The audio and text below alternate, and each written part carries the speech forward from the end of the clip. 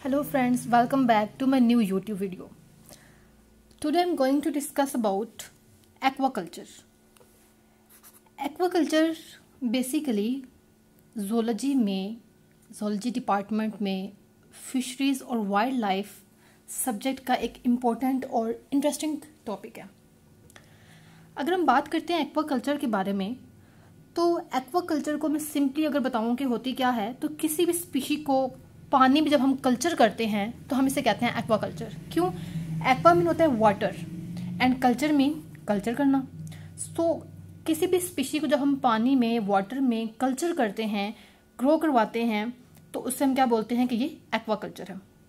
ठीक हो गया? सिंपल हम टर्म इसको कह सकते हैं कि कल्टीवेशन इन एक्वेटिक मीडियम तो ये भी हमारे पास एक्वा कल्चर की डेफिनेशन है. और हम एक्वा कल्चर को एक्वा फ़ार्मिंग भी कहते हैं. आपको ये चीज़ जो है वो याद रखनी है कि एक्वा फ़ार्मिंग भी आपको पूछा जा सकता है और आपको एक्वा कल्चर भी पूछा जा सकता है। तो आपने कंफ्यूज नहीं करना एक्वा कल्चर और एक्वा फ़ार्मिंग दोनों ही एक ही चीज़ है बस नाम डिफरेंट है लेकिन एक्वा कल्चर भी आ, किसी भी स्पीशी को वाटर में कल्चर करना होता है और एक्वा फ़ार्मिंग भी पानी में किसी चीज़ को कल्चर करने को ही कहा जाता है।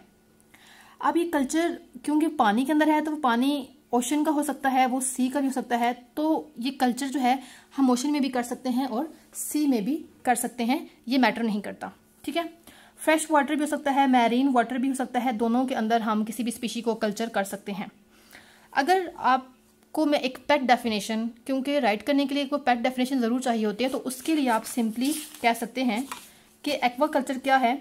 It is a farming of aquatic organisms including fish mollusc crustaceans and aquatic plants is called as aquaculture तो ये एक्वाकल्चर की एक इंपॉर्टेंट या पेट डेफिनेशन है कि किसी भी एक्वेटिक ऑर्गेनिज्म को जब हम फॉर्म करते हैं कल्चर करते हैं, चाहे वो फ़िश हो मोलस हो क्रस्टेशियंस हो या कोई प्लांट हो तो हम इसको एक्वाकल्चर कहते हैं। ठीक है? अब एक्वाकल्चर जो है, ये ऑर्गेनाइज प्रोडक्शन होती है किसी भी क्रॉप की एक्वेटिक मीडियम के अंदर। अब मैंने क्रॉप क्यों कहा? क्योंकि वो प्लांट भी हो सकती है, वो वो कोई एनिमल भी हो सकता है। ठीक है? तो वो एनिमल भी हो सकता है और प्लांट भी हो सकता है तो ये मैटर नहीं करता कि उन दोनों में से वो कौन सी चीज़ है। ठीक है? फिर हम बात करते हैं यहाँ पे हिस्ट्री के बारे में, कि एक्वाकल्चर की बेसिकली हिस्ट्री क्या है। तो aquaculture word word fish farming जो है, ये सबसे पहले प्रैक्टिस किया गया था as long ago as 2000 BC in China सबसे पहले फ़िश फ़ार्मिंग या फिर एक्वाकल्चर प्रैक्टिस कहाँ पे किया गया? तो 2000 बीसी में चाइना के अंदर ये फ़र्स्ट टाइम जो है इंट्रोड्यूस हुआ। पाकिस्तान में फिशरी रिसोर्स का एनफ जो है वो अभी तक डेवलप नहीं हुआ, ठीक है? अभी डेवलप होना है। फिशरीज का बहुत सारा जो रिसोर्स है एनफ रिसोर्स है, वो डेवलप होना बाकी है। पाकिस्तान के अंदर सिंध और बलोचिस्तान की बहुत सारी पॉपुलेशन जो है वो फिशरीज के ऊपर जो है अपने लाइवलीहुड के लिए, अपने रोज़ बरा गुसर बसर के लिए फिशरीज के ऊपर जो है वो डिपेंडेंट होते हैं। ठीक हो गया? देन हम बात करते हैं कि किस किस स्पीशी को कल्चर कर सकते हैं। क्योंकि एक्वाकल्चर की बात कर रहे हैं तो मैं आपको डेफिनेशन में बता चुकी हूँ, पर डेफिनेशन में कि हम क्रस्टेशियंस लाइक प्रॉन फ़िश इनको भी हम कल्चर कर सकते हैं, ठीक है? क्रस्टेशन में आर्थ्रोपोड्स सारे आ जाते हैं, ठीक है? मोलस को भी हम एक्वाकल्चर में लाते हैं फ़िश को भी हो सकती है कि वो फ़िश की कल्चरिंग हो रही है। और उसके बाद एक्वेटिक प्लांट भी कोई हो सकता है एल्जे है, कोई अदर ऑर्गेनिज्म भी हो सकता है। एक्वेटिक फ़ील्ड में क्या होता है कि कल्चर कर सकते हैं सब स्पीशीज़ को हम। इन सब स्पीशीज़ को हम एक्वेटिक फ़ील्ड के अंदर कल्चर कर सकते हैं।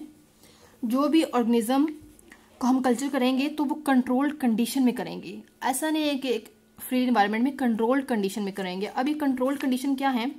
मतलब कि एज फ़ूड हो सकता है कि वो organism as a food value बड़ी इंपॉर्टेंट हो। लाइक like, अगर हम फ़िश की बात करते हैं तो एज ए फ़ूड उसकी बहुत ज़्यादा न्यूट्रिशनल वैल्यू है वो बहुत ही इंपॉर्टेंट है ठीक है? तो इसलिए हम कंट्रोल कंडीशन में क्या करेंगे? उसकी कल्चरिंग करेंगे। हो सकता है कि कमर्शली कमर्शियल पर्पज़ के लिए वो ऑर्गेनिज्म बहुत इंपॉर्टेंट हो फ़िश इसके लिए वाकई बहुत इंपॉर्टेंट है, ठीक है? मोलक्स बहुत इंपॉर्टेंट है क्रस्टेशन वगैरह, ये एज कमर्शियली इंपॉर्टेंस भी हैं। तो एक्वा कल्चर के अंदर क्या क्या चीज़ आ जाती है? फ़िश फ़ार्मिंग भी आती है श्रिम्प फ़ार्मिंग ऑयस्टर फ़ार्मिंग जिसमें मोलक्स आ जाते हैं प्रॉन फ़ार्मिंग एल्जा फ़ार्मिंग और उसके बाद ऑर्नामेंटल फ़िश कल्चर जो ऑर्नामेंटल फिशेज़ होती हैं, जो डेकोरेशन के लिए होती हैं, जो खूबसूरती के लिए होती हैं, उनकी कल्चरिंग को भी हम एक्वा कल्चर ही कहते हैं। ठीक हो गया? उसके अलावा एक मैरीकल्चर होता है जिसके अंदर कल्टीवेशन जो है वो सिर्फ़ सी वाटर या फिर मैरीन वाटर के अंदर ही होती है। ऐसी कल्चरिंग अगर आपको कोई पूछता है कि हमारे पास मैरीकल्चर क्या होता है, क्या मैरीकल्चर एक्वाकल्चर है तो जी, मैरीकल्चर एक्वाकल्चर है, लेकिन इशू क्या है कि मैरीकल्चर सिर्फ़ सी वाटर के अंदर होता है, ठीक है? ऐसी कल्चरिंग जो सिर्फ़ सी वाटर के अंदर होती है, उसको हम मैरीकल्चर कहते हैं। ठीक हो गया? देन टर्म uh, जो है वो एक्वा कल्चर के अंदर एक मैरी कल्चर होती है एक पीसी कल्चर होती है। पीसी कल्चर होती है यानी कि सिर्फ़ फ़िश की कल्चरिंग को हम पीसी कल्चर बोलते हैं। एलजे कल्चर क्या होता है कि एलजे की कल्टीवेशन को हम एलजे कल्चर कहते हैं। अब यहाँ पर एक पॉइंट आता है कि हमने कल्चर क्यों करना है?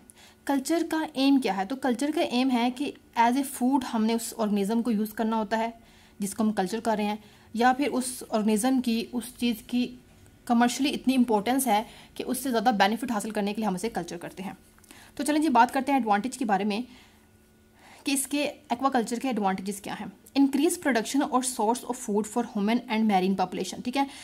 इसका एडवांटेज ये है कि इससे क्या होता है कि फ़ूड प्रोडक्शन ज़्यादा होती है ह्यूमन के लिए, ठीक है, और मैरीन पॉपुलेशन के लिए। इसके बाद सोर्स ऑफ़ इनकम जो है, वो बहुत ज़्यादा इंक्रीज होती है जॉब अपॉर्चुनिटीज़ लोगों को मिलती होती है इससे, ठीक है एक्वाकल्चर के लिए जो लोग काम करते हैं। बहुत सारी जो स्पीशीज़ होती हैं, उनकी प्रोटेक्शन होती है, ठीक है? उसके बाद जो वेस्ट प्रॉब्लम है, उनको जो है वो चेक किया जाता है इसके थ्रू उसके बाद रूरल एम्प्लॉयमेंट जो है, जो बेरोज़गारी है, उसको इससे ख़त्म किया जा सकता है और नेशनल एक्सपोर्ट इसके थ्रू जो है वो बहुत बढ़ाई जा सकती है। टूरिस्ट प्लेस बनाई जा सकती हैं कि लोग वहाँ उस एक्वाकल्चर एरिया के अंदर घूमने आएँ, देखें उसको, क्योंकि खूबसूरती होगी, वहाँ पर प्यारी प्यारी होगी तो वहाँ पर आके लोग उसको देखेंगे तो वह टूरिस्ट प्लेस एज वहाँ से इनकम बहुत अच्छी आएगी, ठीक है? और चीप प्रोटीन जो है, एक लोकल पॉपुलेशन को चीप प्रोटीन जो है मिलने का एक आसान ज़रिया जो है, वो क्या है? एक्वाकल्चर है, ठीक है? क्योंकि फ़िश के अंदर प्रेजेंट ज़्यादातर प्रोटीन होती है मेजर पोर्शन प्रोटीन है।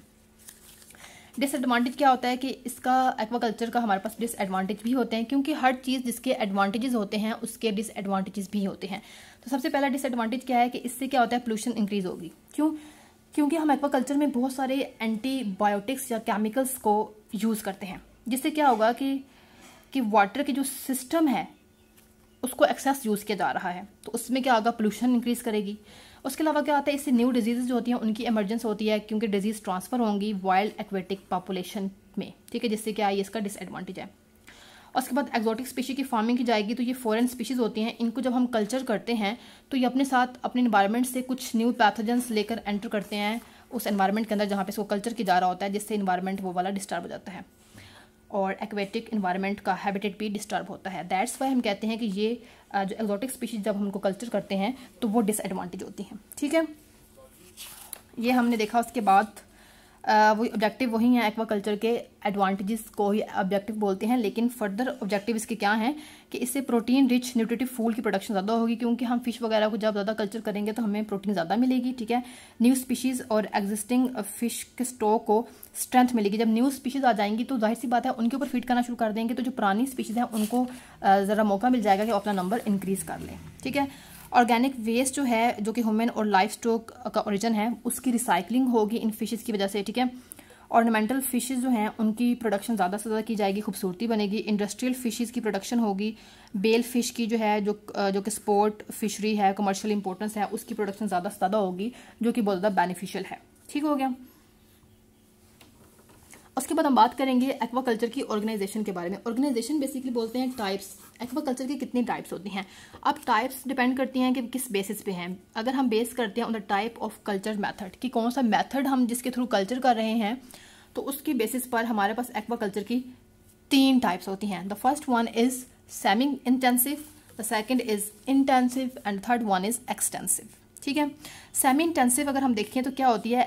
It is adoption of mid level technology इसमें क्या होता है कि मिड लेवल टेक्नोलॉजी जो है, इस कल्चरिंग के अंदर यूज़ होती है, ठीक है?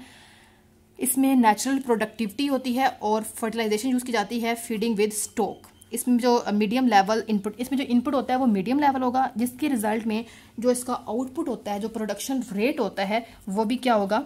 वो भी मीडियम ही होगा। क्यों? क्योंकि इसमें अगर हमने इनपुट मीडियम दिया है तो आउटपुट भी हमें मीडियम मिलेगा। इसको हम semi intensive type of aquaculture बोलते हैं।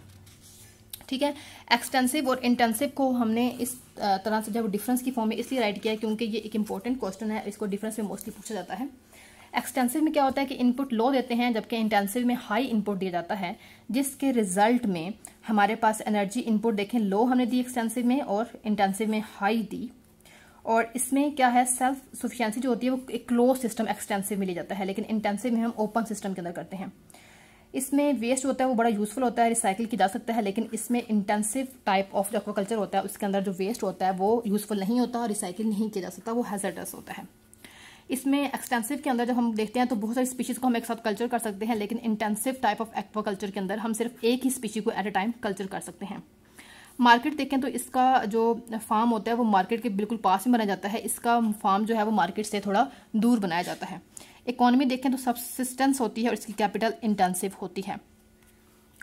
तो क्या होता है कि हमारे पास अगर हम स्कोप देखें तो डाइवर्सिफिकेशन जिसको हम सिंपली बोलते हैं तो एक्सटेंसिव की, ठीक है कॉन्सिडरेबल स्कोप होता है, जबकि इंटेंसिव की हमारे पास लिमिटेड स्कोप है। तो आपने देखा कि हमारे पास सेमी इंटेंसिव एक्सटेंसिव और एक्सटेंसिव के बारे में इंटेंसिव का जो हमारे पास एक्वाकल्चर टाइप्स हैं, वो बेसिकली क्या है, ठीक है? तो ये हमारे पास हो गया उसके बाद अगर हम बेस करते हैं कि टाइप ऑफ़ ये टाइप्स हैं बेसिकली ठीक है? टाइप्स हैं एक्वाकल्चर की on the basis of habitat वो किस हैबिटेट के अंदर किस पानी में रह रहे हैं? तो फ्रेश वाटर एक्वाकल्चर भी होता है साल्ट वाटर जिसमें नमकीन पानी में हम इसको एक्वाकल्चर करते हैं ब्रैकिश वाटर के अंदर भी और वेस्ट वाटर के अंदर भी कल्चरिंग की जा सकती है, ठीक है? ये भी इसकी टाइप्स हैं। अगर हम बेस्ड ऑन वाटर फ्लो ठीक है? वाटर फ्लो करेक्टर पर अगर बेस करें तो हमारे पास रनिंग वाटर एक्वाकल्चर भी होता है और स्टैंडिंग वाटर एक्वाकल्चर भी होता है। ये भी दो टाइप्स हैं। अगर हम बेस करते हैं on type of culture organism के, किस ऑर्गेनिज्म को हम कल्चर कर रहे हैं तो उसकी बेसिस में फिन फ़िश कल्चरिंग भी होती है क्रस्टेशन फ़ार्मिंग भी है मोलक्स फ़ार्मिंग भी है सी वेड्स फ़ार्मिंग भी है, और एल्जल फ़ार्मिंग या एल्जल कल्चर भी होती है।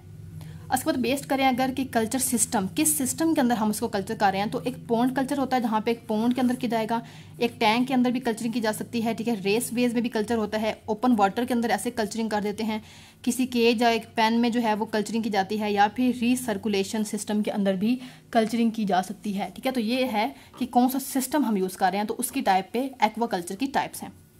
अब एक्वा कल्चर की types on the basis of purpose of culture कि हम कल्चर कर क्यों रहे हैं? तो फ़ूड फ़िश कल्चर भी होता है कि खाने के लिए इसको फ़ूड के लिए यूज़ कर रहे हैं और रिक्रिएशन फ़िश फ़ार्मिंग जो कि टूरिज़्म के लिए आप टूरिस्ट के लिए यूज़ करते हैं तो वो उसको जिसको एक्वेरियम बोलते हैं, खूबसूरती के लिए तो वो उस टाइप के भी हमारे पास एक्वाकल्चर होती है और बायो ट्रीटमेंट और या बायोलॉजिकल कंट्रोल के लिए भी हम एक्वाकल्चर के टाइप कहते हैं। अगर हम बेस करें कि रीजन फीचर्स क्या है तो वार्म वाटर एक्वाकल्चर भी होता है कोल्ड व ठंडे वाटर की भी एक्वाकल्चर होती है और सब ट्रॉपिकल एक्वाकल्चर की भी टाइप होती है। तो ये तीन टाइप्स थी। उसके बाद अगर हम बेस करें तो नंबर ऑफ़ स्पीशी के ऊपर भी ये होती है कि वो मोनोकल्चर है कि एक स्पीशी को सिर्फ़ कल्चर कर रहे हैं हम, ठीक है? या फिर हम पॉलीकल्चर बहुत सारी स्पीशीज को इकट्ठा कल्चर कर रहे हैं। अगर मोनोकल्चर देखें तो किसी भी सिंगल स्पीशी को जब हम कल्चर करते हैं तो किसी एक ऑर्गेनिज्म को कल्चर करते हैं पानी के अंदर, चाहे वो फ्रेश वाटर हो सॉल्ट हो या ब्रैकिश वाटर हो तो उसको हम कहते हैं कि ये मोनो यानी कि एक स्पीशी की कल्चरिंग हो रही है, ठीक है? एग्ज़ाम्पल में देखेंगे, हमारे पास टिलेपिया कल्चर जो है टिलेपिया को सिंपली कल्चर किया जाता है, उसको चैनल कैटफिश जो होती है उसको यूएसए में और कैटफिश को अफ्रीका के अंदर जो है वो मोनोकल्चर किया जाता है। रेनबो ट्रोड जो है उसको सेवल कंट्रीज़ के अंदर कल्चर करते हैं। पोली कल्चर में होता है कि बहुत सारी स्पीशीज़ को इकट्ठा कल्चर किया जाता है सेम वाटर बॉडी के अंदर, एक ही सिस्टम के अंदर। एग्ज़ाम्पल है इसके अंदर several species of Chinese carps Chinese carps को जो है वो कल्चर किया जाता है चाइना और ताइवान वगैरह के अंदर, ठीक है? तो वो डिफरेंट स्पीशीज़ की लेते हैं और उसको कल्चर करते हैं। ठीक हो गया जी? फिर इसके बाद देखते हैं कि हमारे पास एक्वा कल्चर का जो स्टेटस है पाकिस्तान के अंदर, वो क्या है, ठीक है? एस्टिमेटेड फिगर अगर देखें तो फिफ्टी थाउज़ेंड पीपल जो है पाकिस्तान के, वो एक्वा कल्चर के साथ एसोसिएटेड हैं, ठीक है? पचास हज़ार से ज़्यादा लोग जो हैं, वो एक्वा कल्चर से एसोसिएटेड हैं। 2004 के अंदर अगर हम बात करें तो 2004 के अंदर एक्वा कल्चर सेक्टर जो है, उसने सेवेंटी थाउज़ेंड टन जो है फ़िश का कंट्रीब्यूट किया था। देखें कि 2004 के अंदर सेवेंटी थाउज़ेंड टन जो है फ़िश प्रोड्यूस की गई थी। पाकिस्तान में कैप्चर फिशेज की प्रोडक्शन जो होती है, वो मैरीन वाटर में with pace of time decrease कर रहा है। क्योंकि क्योंकि पोल्यूशन वगैरह हो रही है, ठीक है, कुछ अदर भी इन्वायरमेंटल हैजर्ड्स की वजह से क्या हो रहा है कि मैरीन वाटर के अंदर फ़िश की जो प्रोडक्शन है, वो with the pace of time बहुत ज़्यादा डिक्रीज कर रहा है रेट ठीक हो गया जी? That was all about two days lecture कि हमने एक्वाकल्चर देखा कि बेसिकली होता क्या है, उसके एडवांटेज उसके डिसएडवांटेज उसके प्रोन्स उसके कॉन्स हमने पढ़े, उसके बाद हमने इसकी टाइप्स डिफरेंट पढ़ी कि on the basis of water कैसा है ऑन द बेसिस ऑफ़ कि उनका, उनको रीजन कैसा मिल रहा है, उनका जो है सिस्टम कैसा है, उनकी नंबर ऑफ़ स्पीशीज़ कितनी है तो हमने बहुत सारी चीज़ें को डिस्कस किया है डिटेल के अंदर। नेक्स्ट वीडियो में इंशाल्लाह हम बात करेंगे एल्जा कल्चर के बारे में तो मिलते हैं नेक्स्ट वीडियो में, तब तक के लिए अपना बहुत सारा ख्याल रखिए। मुझे दीजिए इजाज़त, अल्लाह हाफि